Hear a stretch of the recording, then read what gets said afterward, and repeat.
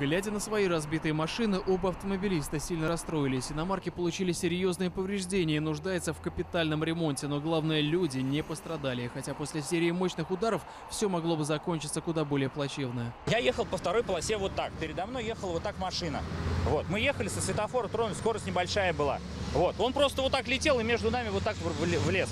И просто ударил меня в переднее левое крыло. По словам очевидцев, в этот вечер настоящие гонки по городу устроили два автомобилиста на Рено. Водители гнали на огромной скорости, обгоняя и подрезая попутный транспорт. В итоге на улице Декабристов на ровной прямой дороге один из стритрейсеров, пытаясь перестроиться на соседний ряд, не рассчитал и по касательной задел Тойоту, отчего последняя потеряла управление. Меня в сторону вот так уводит.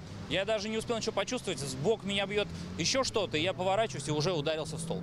От удара неуправляемая Тойота на автобусной полосе врезалась в Ситроен, а затем в опору уличного освещения. Французский седан, перелетев через поребрик, протаранил молодое дерево. В свою очередь, гонщик на Рено, увидев, что по его вине оказались разбитые две машины, лишь еще больше нажал на педаль газа. Две желтые Две, одинаковые ну, как- реношки. Как, одноклубники. Ты же знаешь, как она называется? Рено Меган 3 купе. Вот.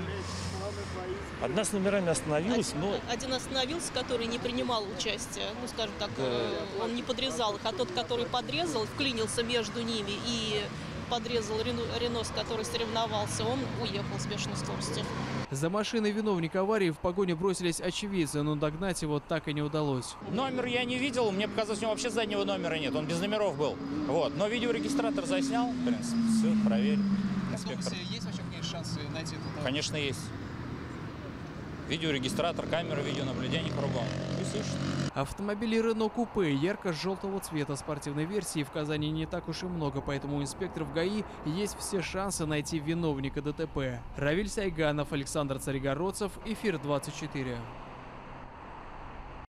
25 лет в эфире. С вами и для вас.